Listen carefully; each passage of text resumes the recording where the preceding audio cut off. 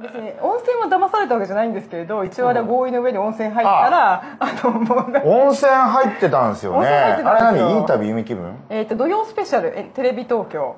テレビ東京のだからいい旅弓気分の特番でしょ？あそうそうそう。そうえ普通に温泉入れました？普通に入りましたよ。ええそれなんかテビレビで肌さらしてたわけですか？だってこっから誰と一緒にですよ倉玉へええだって力道に倉玉を呼コメントでこの人何でもするんだなって感じ えどこまでなら隠すんですかじゃあ？えだってこっからでなんかどうでもいいああれなんかあののいつものあのなんかバスタオルみたいなのをこうごいね巻いて。長い熱いバスタオル。あれってなんか下に水着とか着るんですか？着ないっすよ。だって温泉入るに場所あって。えだってしたらほらスタッフ男の人とかがわらわらいるじゃないですか。むちゃむちゃ長いんですよバスタオルノーブラみたいな感じもちろん。すごいじゃないですか。へえそれ嫌じゃないですか？だって赤の他人になんかそのバスタオル1枚の姿見られるのってだってその外れることないしそのバスタオルも。美味しい。だって例えばバスタオル1枚で外歩いてって言われたら嫌じゃないですか。嫌ですね。そんな感じで他人に見られるのって嫌じゃないですか。一応ね撮影はさすがに入ってから始まるんですよ。へー。お美味しいもの食えました？あすごい美味しかった。信州サーモン